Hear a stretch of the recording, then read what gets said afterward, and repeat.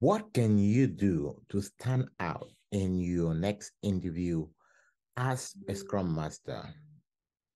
Today, I want to share with you seven steps to building a solid case study that separates you from everyone else when you are heading out for a Scrum Master interview.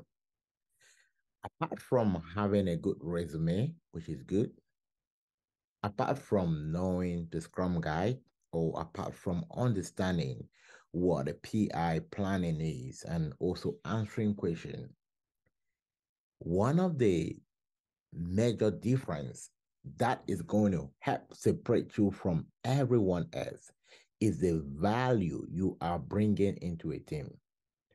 The value you are bringing into a team is not what the interviewer see in your resume. It is your ability to communicate practically and to be able to integrate your experience as you communicate with the interviewer. Which is why I want to take some time today to give you different aspects you want to consider when you are preparing for an interview. For instance, if a question is asked to you, what are some of the challenges that you have come across as a Scrum Master? Now, your ability to answer this question effectively, number one, is going to be determined by how prepared you are, not in as you understand a problem that a team can have, but as in you have a personalized or you have a personalized case that you have already prepared. So let me go ahead and share my screen with you. And we are going to be more visual today. And I'm going to walk you through the different aspects that don't only make your case study outstanding, but help you build confidence in the process as you head out for an interview. One of the key things you want to remember is that your level of confidence, the way of thinking is your number one goal. How prepared you are mentally help you to navigate without major challenges. I was having a conversation with someone yesterday, and one of the things I figured out is that the major aspect that is holding them back is not even the fact that they are not ready for the job. They've done everything possible that they could, they've invested the time, but then they lack the right way of thinking. Why? Because they are listening to a lot of people who are constantly telling them they cannot do it with what you have. Now, you can do it based on the condition that you are investing in the right direction. So, we are going to look at seven aspects. What is a case study? Now, in an interview, if you've been asked the question, uh, tell me about your position as a Scrum Master. You are going to situate that in a case, right? Because we are assuming that you are in a practical environment. Let's say that you just went for vacation in Japan, for instance, and you return back to wherever your base is. Let's say you return back in London and someone asks you, hey, how was your vacation in Japan? Now, you are not going to guess what is in the map. You are going to be able to share with a lot of excitement. This is the excitement that is missing whenever you communicate. I was helping someone to prepare for an interview, and when I say, Oh, tell me about your role as a Scrum Master, and then I noticed that all what they could say was on how they facilitate events, how they help the team remove impediments, how they have been able to transition their team from one point to another. That is very good, but it lacks a lot of substance. In a case where if I have about three people or four or five people who are interviewing, then I would be able to pick someone that can tell me a bit about number one, the business environment they've been working in. That's number one. Number two, identify the business value they were delivering. Number three, identify what their team composition was. Number four, identify their team capacity and velocity. Number five, describe team performance. Number six, identify a common team conflict and how they deal with it.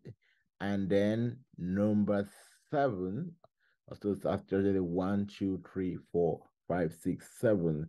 Describe your impact in a team. Now, you can describe all of this in less than two minutes, although we probably will be taking more than two minutes to discuss all of this, but you can handle all of this in less than two minutes if you understand exactly how each and every part of this contribute towards your response. Now let's go ahead and look at why do you need to consider a business environment? Okay, let's say uh, you work as a Scrum Master with Wells Fargo, for instance, what business environment are we looking at? Are we looking at where you working with a technological team when you were in the business, when you were working at Wells Fargo? Now, you can also be working at Wells Fargo, but you're working in the cultural aspect. Now you can still be working there and you are working more on the monetary transfer and all of that. You can be working there and maybe there was an aspect of Wells Fargo that was looking forward to improve environment and climate change. So despite despite the fact that let's say Wells Fargo is a financial company, they are different component with different technology that could be developed by a team of Scrum or by Scrum team. So you need to be able to pick your environment and secondly, go ahead to identify what value, what business value you were delivering. Now, one thing you want to understand about Scrum is that when you work with a team, number one, you don't work with a company.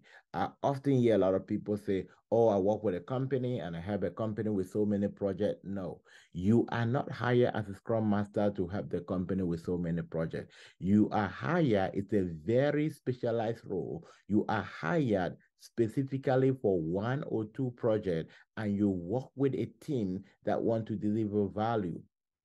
So you are not just brought in, let's say, as a project manager to manage a couple of projects. First, a product is identified that need to be delivered. A team is compiled or a team is brought together that need to deliver that product. And then you are brought in as a scrum master to facilitate or to work with that team to deliver that value. Now, what is the value that you're delivering? Is it a value to increase revenue or to increase productivity? Is it a value to increase? Is it a, a, value to increase uh, skills and job satisfaction? For instance, we can build. Uh, you see, in let me take for instance the health sector. If you zoom back about 10 years back you realize that most of the work or documentation there's a lot of documentation in the health sector was done manually. You need to write papers you need to write report. But then most today you often maybe just uh, get an iPad or your phone, and you can be able to key all your report in there, and it saves you a lot of time. Now, this is a, uh, a business value that increase what in employee value value. In most of the cases as well, it, before you could do a transaction in a bank, you need to go there, you need to call their customer service. But today, you can do that one or two tap on your phone. Right. So it's very important for you to understand social value, reduce carbon footprint, improve health, right? For instance, now we have digital software that can even help monitor heart rate and other stuff. These are digital solutions that you can build as a Scrum Master. Number three, you want to be able to identify your team composition. And this is where I talk a lot about what type of teams are you working on? On my next video, which is going to be on Thursday, I'm going to discuss in detail the different team composition. So when you say I work with a team of developer, it doesn't just end there. You need to understand was my team a data science team? Was my team um, a development team composed of front end and back end developer? Was my team, let's say, web portal team? All right, what type of teams were you working in? And, these are some of the details we discuss when we have our masterminds. We actually get people into practice, we get them into project, then we zoom into what are the different composition of people we need to complete this project. So it's very important. And this is why I always say for people, if you want to go faster this year, you want to belong to a coaching community. I had a conversation with someone yesterday and they say, you know what? I had a job. I have a job. I've been working for six months, but I feel like I'm missing a lot. Sometimes I feel so empty. And why do they feel so empty? Because they have all along been on their own. Now, a career is not about a job. A career is about engaging yourself in a place where you constantly challenge yourself. And it's not for free. If you're looking for a free community, for those who are SAFe certified, there are a lot of free communities in there. But to be very candid with you, free communities are not going to help you. So if you definitely interested in joining in of our community, you can always check uh, uh, and reach out with a number that is on the description. I will be able to help you. And for those who are interested in our next SAFe certification, it's going to be on the 20th, starts on 20th. So we're having the next certification will be on a weekend, Friday evening, Saturday evening, Sunday evening, so that uh, we can have a lot of people who have been asking about having a weekend schedule to join. So the type of team composition is very necessary. The fourth thing you want to identify is you want to identify team capacity and velocity. Now, how does your team capacity and velocity help you to to, to, to confront a case study. For instance, if I say, tell me typically how your week as a Scrum Master or how your sprint as a Scrum Master look like, your ability to answer this question is in understanding your team velocity and capacity, which is related to your schedule.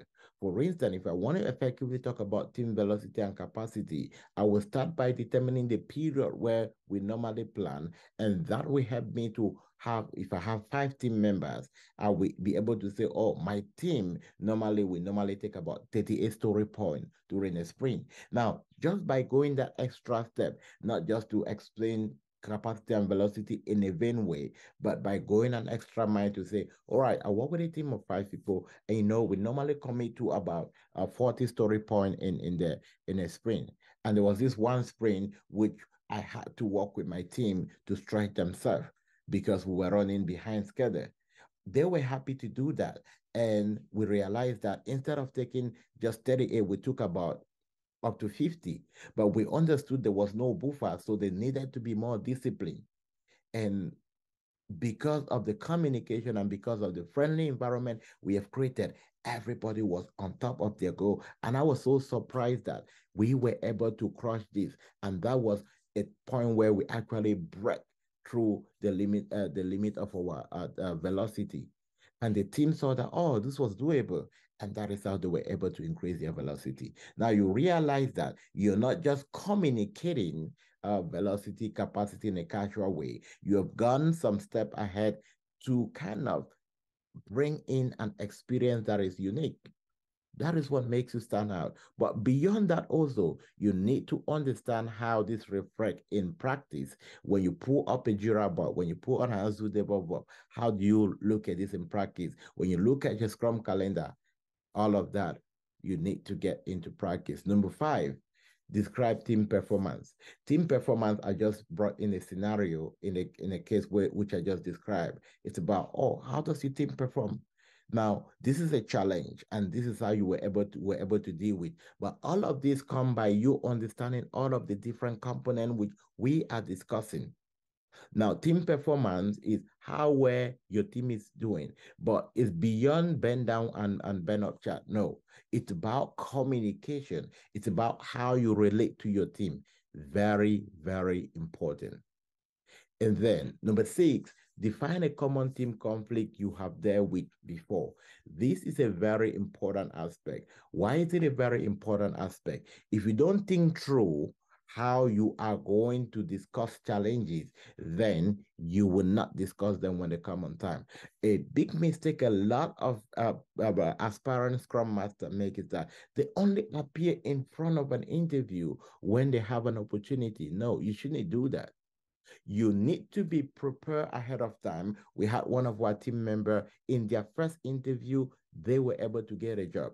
But why were they able to get a job? It's not because they're lucky. This person has been practicing and they have actually uh, uh, uh, um, participated as team leaders, helping other people without even getting a job. And that is why within their first interview, they were able to crush it. So sometimes we always we want to get an interview like, oh, uh, uh, coach, I have an interview next week. Can you help me prepare?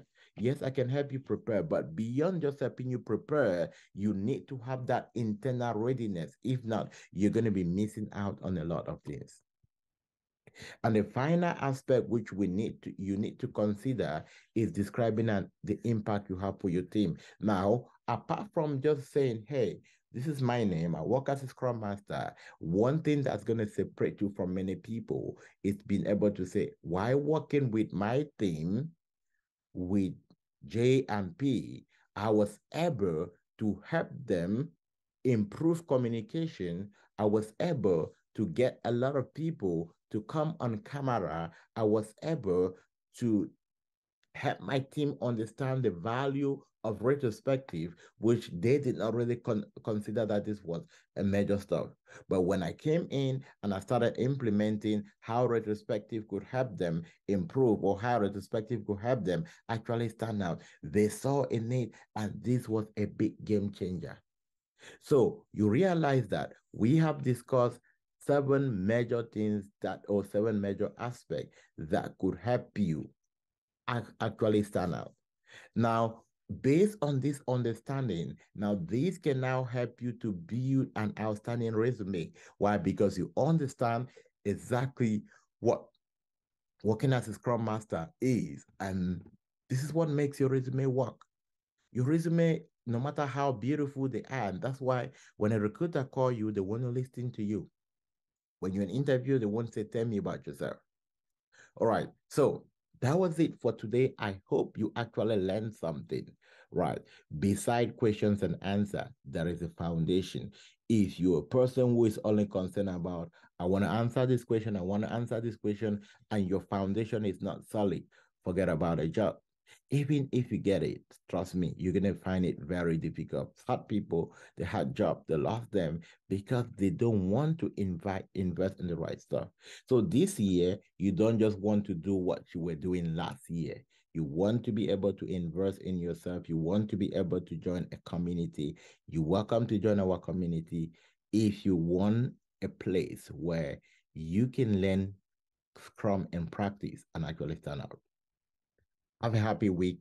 Don't forget to subscribe. Don't forget to like. If this actually helped you, share with someone, and I'll see you in the next video.